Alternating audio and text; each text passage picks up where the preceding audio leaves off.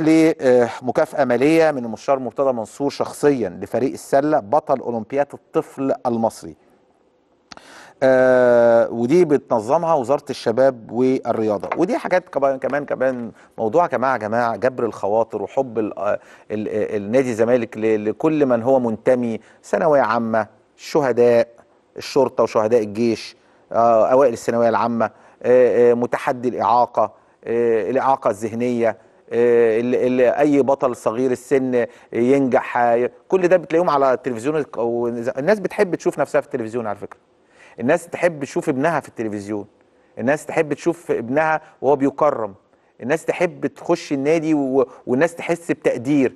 ا- ا- ابن الشهيد ده يحس باللي قدمه أبوه. و... والناس الزمالك عمل له عضوية عشان أبوك بطل. أبوك ضحى بحياته عشان خاطر بلده. فنادي الزمالك بيقدر ده. وده اللي بيخلي نادي الزمالك كمان جبر الخواطر ودي دي فعلا النادي الوطنية والكرامة. هو ده النادي الوطنية والكرامة. الوطنية الوطنية والكرامة مش كلام يا جماعة. نادي نادي الوطنية والكرامة يعني أفعال.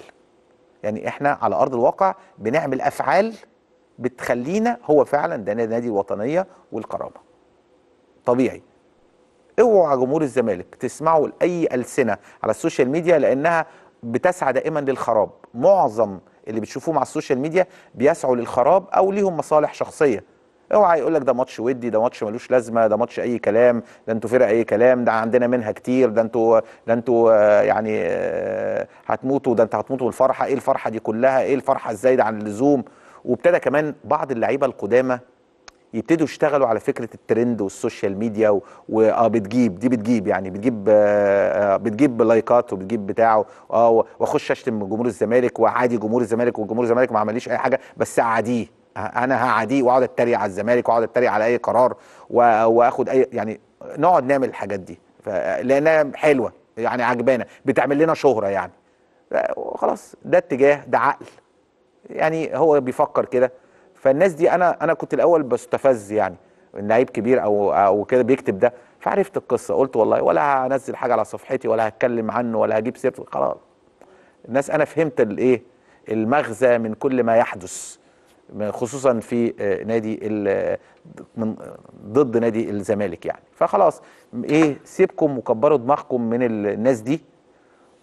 يعني أنا كمان والله بجد ورئيس نادي الزمالك النهارده بشوف موقف. هو ملوش دعوة بالرياضة بس بشوف آه، رئيس سيسي عبد الفتاح السيسي هو بيزور آه، آه، قطر اللي أنا لسه جاي منها من يومين وكان نادي الزمالك موجود فيها.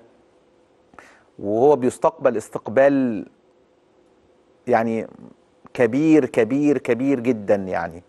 تمام؟ وبتعود العلاقات الطيبة وده اللي إحنا بنأمله. إحنا كلنا كأشقاء عرب كوطن عربي لينا صلة نسب وحب واحترام. إن مفيش حد يا جماعة ما بيحبش مصر. مفيش حد معاش معاش طفولته في مصر من الوطن العربي.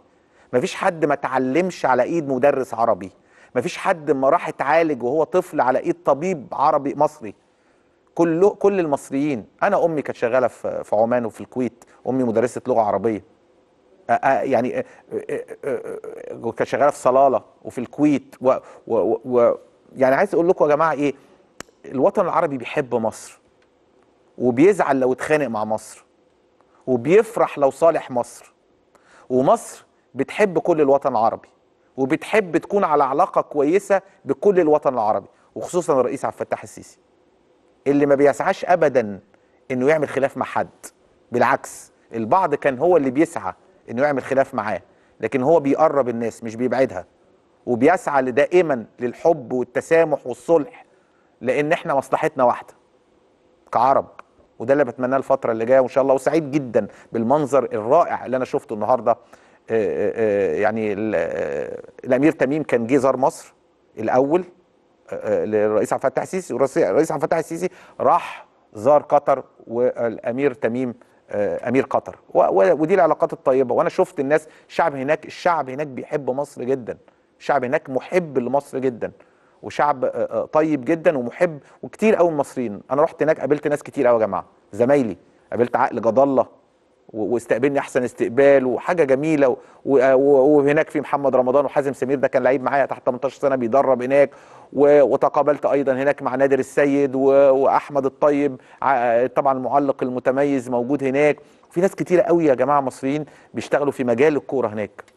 فالعلاقات دي يا جماعة يا جماعة العلاقات الطيبة ما بين مصر وقطر هتعود على النفع كمان على الجالية المصرية اللي عايشة في قطر وبتعمل في قطر في أي مجال ومنهم طبعا المجال الرياضي اللي إحنا كلنا بننتمي إليه.